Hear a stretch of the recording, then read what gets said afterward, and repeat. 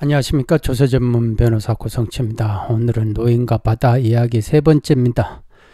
수백억 대 조세 포탈로 고발했더니 결국은 31억 밖에 남지 않았습니다.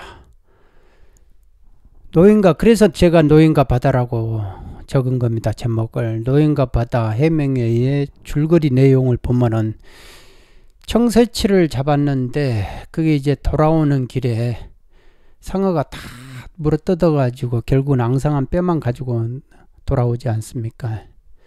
그러니까 이 많은 수백억 대 조세 포탈 금액이 어디로 가버렸냐 이거예요. 누가 이렇게 뜯어 먹었냐. 예. 그거를 한번 해 어, 말씀을 해 보는 거죠.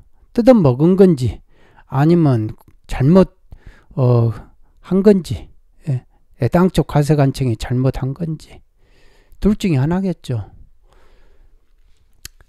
일단은 그 이 사채업자 갑에 대해서 한 225억 225억 이거는 이제 지방세 포함 지방세 포함해 가지고 252억 종소세 이자 소득에 대해서 그동안 신고 안 했다 사채업을 하면서. 그 동생인 을에 대해서는 어, 음, 100, 어, 본세가 184억이니까요. 지방세까지 합하면 203억이에요. 이것도 마찬가지로 종소세 포탈이죠. 이게 다 안 했으니까 신고를 안 했으니까 그래서 이 사람을 어떻게 됩니까? 조세 포탈에 포탈의 정범 정범으로 고발한 거죠. 고발. 그리고 이 사람들이 실제로 전주다. 이 사람들이 전주니까 이 사람들이 운영했던 여섯 개 업체, 예? 여섯 개 업체 대표, 어, 공동대표 합해가지고 일곱 명. 이 사람은 이 사람들의 조세 포탈 혐의를 돈 방조한 것이다. 해가지고 정범, 종범으로 같이 고발을 했죠. 예. 그런데 이게 완전히 바꿔져 버리는 거예요. 검찰에다가 보냈더니요. 검찰에다 보냈더니 이 사람은 갑과 을은 무혐의예요. 무혐의. 왜 무혐의냐? 그 이유를 모르겠어요. 저도. 이 사람은 아니다 이거요. 예. 사채업자가 아니고 이 사람들이 이 일곱 명이 정, 정범, 방조범이 아니고 이 사람들이 정범이다 이거예요. 정범. 이 사람들이 정범이다 이겁니다.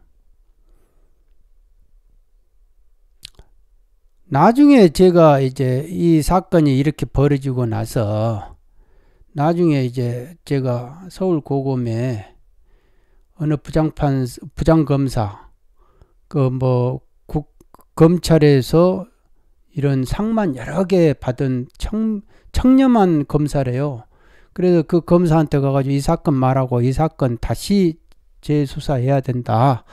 라고 해서 그 사건체를 다 받아가지고 왔더라고요. 그래서 오라 해서 그, 그분 방을 가서 이렇게 보니까 제 방 같은데 이 방에 이렇게 기억자로 이렇게 사건체를 내놨는데 내가 이 사건체를 쭉 보니까 전부 다 참고인 진술 줘서요. 참고인 경찰이 조서 받는 게 전부 다 참고인 진술 줘서 뭐 이 사람들 뭐 진술 줘서 그런 걸로 그냥 사건 기록이 도배가 돼 있는 거예요.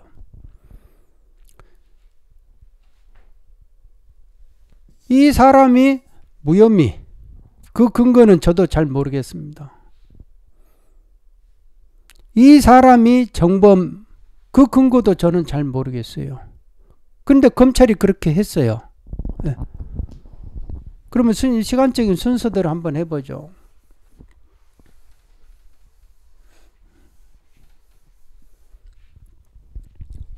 자, 갑을은 정범인데 무혐의, 무혐의가 돼버린 거예요. 그리고 나머지 사람들 있잖아요. 나머지 사람들. 예? 그러니까 1, 2, 3, 4, 5, 6 이걸 크게 해야 되겠네요.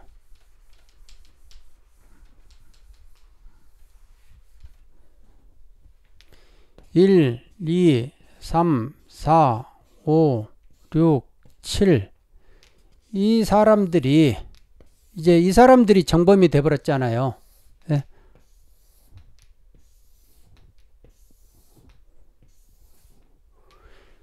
고발을 이 사람들이 정범으로 했는데 이상하게 이게 정범이 돼버렸다 이거예요. 이 사람들은.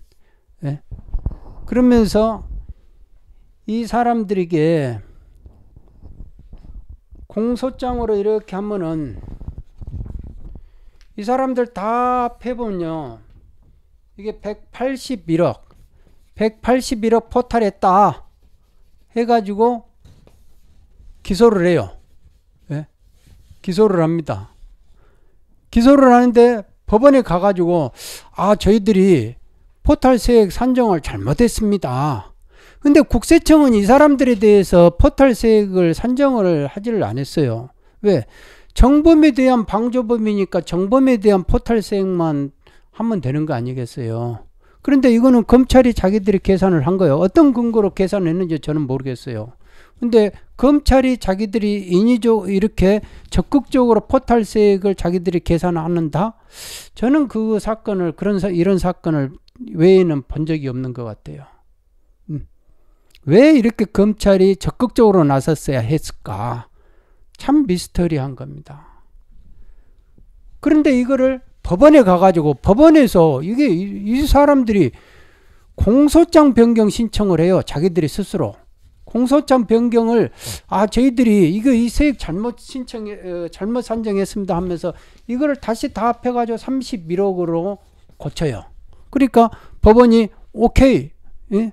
공소장 변경 어, 저 신청 받아줄게 허가해줄게 해가지고 31억으로 끝내버리는 거예요.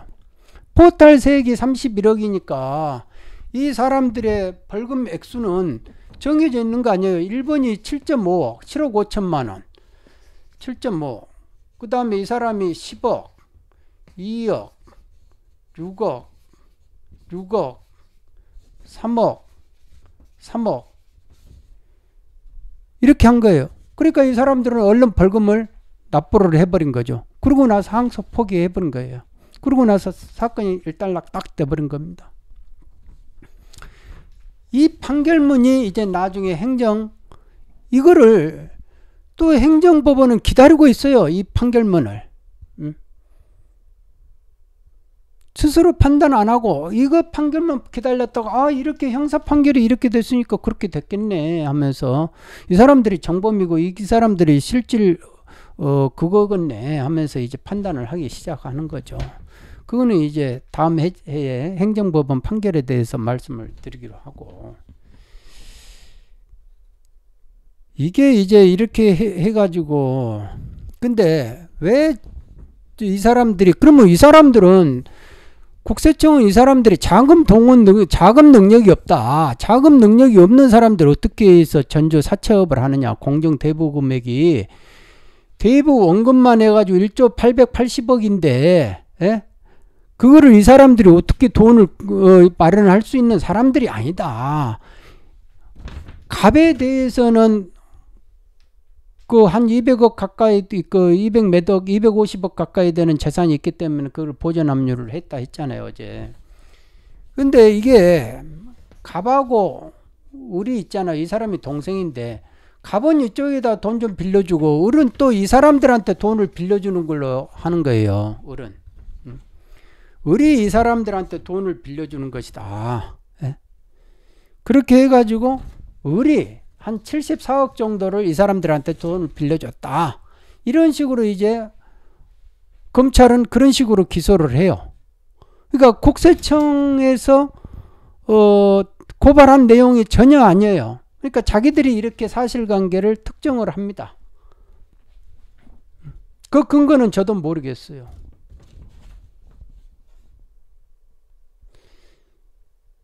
이렇게 하니까 이렇게 해서 이제 이 74억을 빌려줘 가지고 그거에 대해서 세금을 을이라는 사람은 신고를 안 했잖아요. 그러니까 이제 자기들이 이자 소득이 어 이자 소득이 이 74억에 대한 이자 소득이 2억 2억 3,600만 원이다. 3,600만 원이다 하면서 이 검찰 무혐의 나고 난 뒤에 언론 세무관서 세무서장에다 관할 세무서장에다 나 2억 3,600만 원 안 냈다. 세금 그동안 내가 안 냈으니까 이제 낼게 하면서 신고 납부하는 거예요. 네.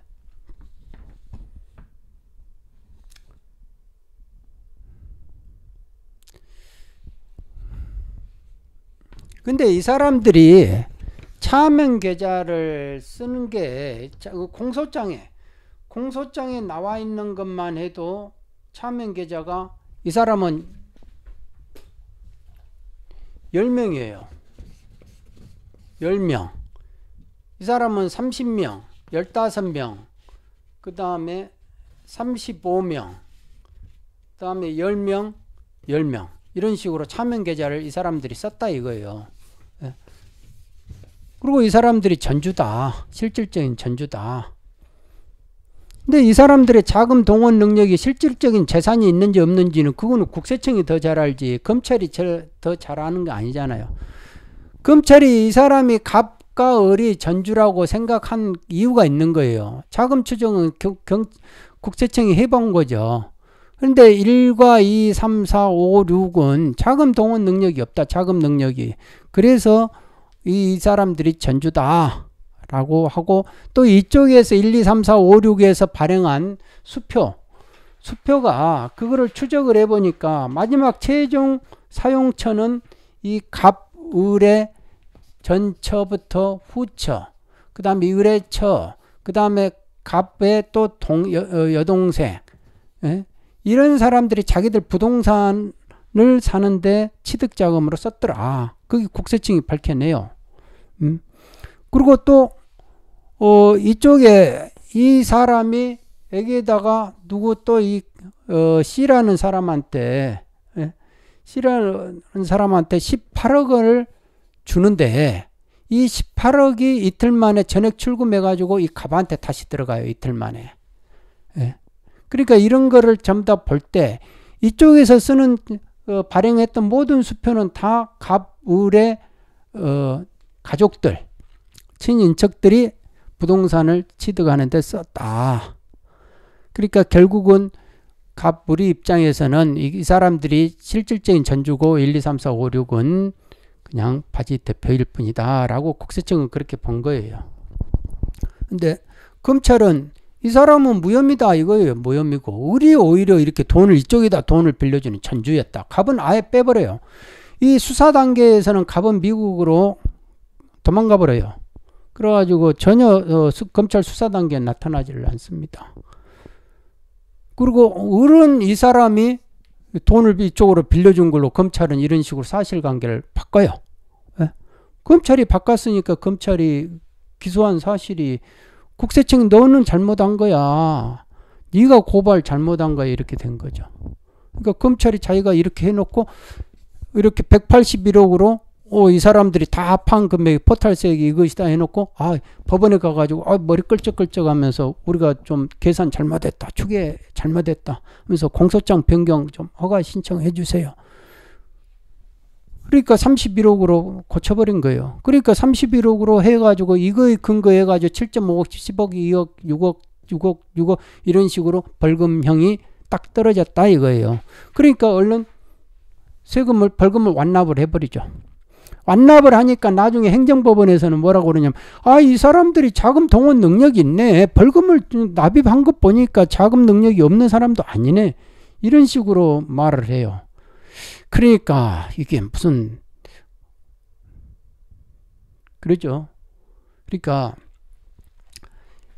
애기에는 아주 그 큰 어떤 힘이 있어요. 힘이 느껴지는 겁니다. 힘이 그러니까 설령 국세청이 100% 부실 가세를 했다고 그래요. 그리고 잘못 고발을 했다 하더라도 그거를 부실 가세를 판명하는 건 있지 않습니까? 그게 그렇게 힘든 거예요. 당연한 거를 당연하다고 인정받기가 그렇게 힘든 게 우리나라거든요. 예. 근데 이런 식의 큰 힘들이 걸려있는 이런 거는요, 누군가가, 와, 아이, 이게 국세청이 잘못했네요. 뭐 하면서 탁탁탁탁 빼고, 이거, 이거, 이거 빼줄게, 이거 빼줄게, 우리가 알아서 빼줄게. 이런 느낌이 확확 드는 거예요. 그런 느낌이 드는 거를 지울 수 없단 말입니다. 근데 이 국, 이 검찰 이 기소, 과 국세청 고발을 완전히 바꿔버렸고 그리고 그대로 법원은 그러겠네 하면서 판결해 주는 거 아니겠습니까? 그러니까 여기서 핵심은 검찰이거든요. 검찰이 적극적으로 나서나 가지고 국세청 고발령을 완전히 바꿔버렸다 이겁니다. 그 근거가 도대체 뭐냐? 모르겠다 이겁니다. 나 지금이라도 좀 이건 뭔가가 있으면 한번 확인을 좀 해봤으면 좋겠어요. 이게 미제 사건이다. 나는 내가 볼 때는 이거를 꼭 검찰에 어떤 미제 그런 그 의문사 같은 뭐 그런 사건 그런 위원회가 또 있으면 이 사건을 꼭 한번 조사를 해봐야 된다. 저는 그렇게 생각을 합니다. 과연 근거를 가지고 이렇게 했느냐 그거를 가지고 한번 확인은 해볼 필요는 있는 것 같아요. 그리고 나중에 이제 이게 행정법원에 가가지고 내일 어, 이제 다음 회차에는 이제 행정법원 이, 이 판결에 따라서 행정법원이 또 그렇게 어, 이 갑불이 전주가 아니다 이렇게 판단을 하거든요. 그러니까 전체적으로 보면요 하나의 큰 힘이 흘러지고 어, 어떤 전략본부가 존재하는 것 같아요. 그러니까 동일하게 전략을 짜요 친밀하게. 그런데 거기에서 이 행정법원 이쪽에서 형사 판결을 이제 변호인이 누군지는 제가 확인을 안 해봤는데 행정법원 같은 경우는 법원장 출신이 해요. 예, 그리고 그 로펌에서 하고. 근데 이쪽에 이쪽에서도 이, 이 사람들 이 사람들에 대해서 어, 일정 몇 명은 그 행정법원에서 그 대리를 했던 그 로펌 음, 거기에 이제 그 법원장 출신 한 분이 계시거든요. 그러니까 그쪽 로펌에서 하고 이쪽은 이제 다른 사람 다른 로, 어, 법인에서 어, 달라들어요. 근데 중요한 거는 제가 알 이쪽은 의미가 없는 거예요. 이 갑을에 형사 대리인이 누구였느냐? 형사 대리인이 검찰 수사 때까지 누가 여기에서 대리를 했느냐? 저는 그게 이제 알고 싶은 거죠. 음, 처음부터 끝까지 이렇게 했는지 그거를 알고 싶다 이거예요. 나중에는 이제 검찰 쪽에서 고검 쪽에서 이제 저한테 전화 와가지고 행정법원 1, 2심 했는데 3심으로 대법원 상고 좋아 그러면 상고해 보자 이렇게 했는데 상고를 포기하게 저한테 이제 전화가 오, 죠 예. 그러니까 이런 일련의 과정을 보면요 여기에 상당하게 국가 어, 공조직을 이 움직인다 이거요. 그러면 그 공조직을 이렇게 적극적으로 움직이게끔 만드는 그 힘이 뭐냐? 네, 그거죠. 그러니까 만일 로비가 있었다면 로비는 이런 식으로 큰 돈, 큰 사건에는 로비가 다 존재하죠. 제가 볼 때는 그래요. 음. 그러니까 어설프게 서민들이 로비한다고 해봐야 그 낚싯바늘이나 걸리죠. 세무조사는 있지 않습니까? 실제로 둘 사이의 관계자는 납세자하고 조사자하고 조사자가 이렇게 칼을 쳐야 되는데 눈 감아 버리면 끝나는 거 아니에요. 그런데 그거를 어떻게 알겠습니까? 그러니까 그 좀 눈 감아 달라, 눈 감아 달라. 라고 하잖아요. 눈 감아 달라. 그러니까 그런데 눈 감아 줄려 해도 내가 너를 어떻게 믿니? 하니까 중간에 누군 겁니까? 누군가가 이제 그, 그 중간에서 그거를 거래해주는 믿을 만한 사람이 아, 이거 내가 믿을, 내가 돈 받아가지고 줄 테니까 해줘. 라는 식의 하는 것이 이제 그런 것이 청탁 비리잖아요. 세무조사 로비가 크죠. 단위가 크죠. 왜냐하면 눈 감아버리면 끝나니까. 근데 이거는 이미 공론화 됐는데 세무조사 단계에서도 고발을 제발 하지 말아달라. 라는 로비가 충분히 있을 수 있죠. 대가는 얼마든지 줄 테니까 고발은 하지 말아달라. 라고 그런 경우는 얼마든지 있을 수 있죠. 얼마든지 있을 수 있는데 중요한 거는 그거는 이미 절차가 진행되고 있는 것을 로비한다 해가지고 되는 게 아니에요. 그러니까 고발은 고발이 될 수밖에 없는데 그 조사 포탈 액수를 조금 더 낮춰달라. 그 로비는 가능하겠죠. 근데 이미 고발이 돼가지고 고발장까지 가는 거를 가지고 검찰이 적극적으로 이렇게 바꿔버린다 하는 거는 상당히 이례적인 거죠. 그러니까 애기가 어떤 힘이 작용하지 않으면 검찰이 왜 스스로 바꾸겠습니까? 이 바꾸는데 얼마나 계산하기가 힘들어요. 이런 거 다 국세청 해주는 대로 이렇게 따다다닥 쌓여나오면 되는데 어, 맞지 맞지 맞지 자백해 막 이런 게 이제 검찰이 하는 건데 예, 이거는 스스로 고발한 사람 당신이 잘못했구만 고발을 그러면은 조사를 할 거냐 참고인 조사를 해가지고 고발인 조사를 하면은 어 당신 잘못했네 잘못했다 하면서 그 고, 국세청 사람은 우리가 잘, 잘했습니다 잘했습니다 하면 어, 잘못했잖아 하면서 그거를 오히려 반박하고 국세청 사람을 반박을 시키고 납득을 시켜야 되는데 그 검찰이 그 검찰 수사관이 몇 명이다고요? 음, 이거 하는 사람이 한 명일 거 아닙니까? 그 위에 검사지. 근데 그게 가능하겠냐 이거요? 그 한 사람의 노력으로 그래서 결론은 이거는 상당히 제가 지금까지 봐왔던 사건 중에서 아주 그 뭡니까 각본이 아주 매끈한 각본으로 이루어진 것이다. 그러면은 그 각본이 뭐냐? 결국은 국세청이 잘못 부실 가세를 하고 잘못 고발한 거예요. 그러면 납세자를 그렇게 에? 힘들게 했으면 이거를 풀어내는데 아주 매끈했다 이거예요. 예? 결론은 아니면은 국세청 고발은 잘했는데 이거를 그냥 어떻게 어, 무마를 시켜버렸던지 아 이거는 둘 중에 하나예요. 그런데 그 부분에서 매끈하게 했다. 그런데 그러기 위해서는 아주 강한 정관들이 필요했을 것이다. 저는 그렇게 생각을 해보죠. 그러니까 당연한 거를 당연하다고 인정받는 것도 진짜 어려운 세상이에요. 이 나라는. 당연한 거를 당연하다고 인정, 그래서 어찐다고 이렇게 해버리면 끝나는 거예요. 그런데도 당연한 거를, 오, 그래, 그구나. 당연하게구나.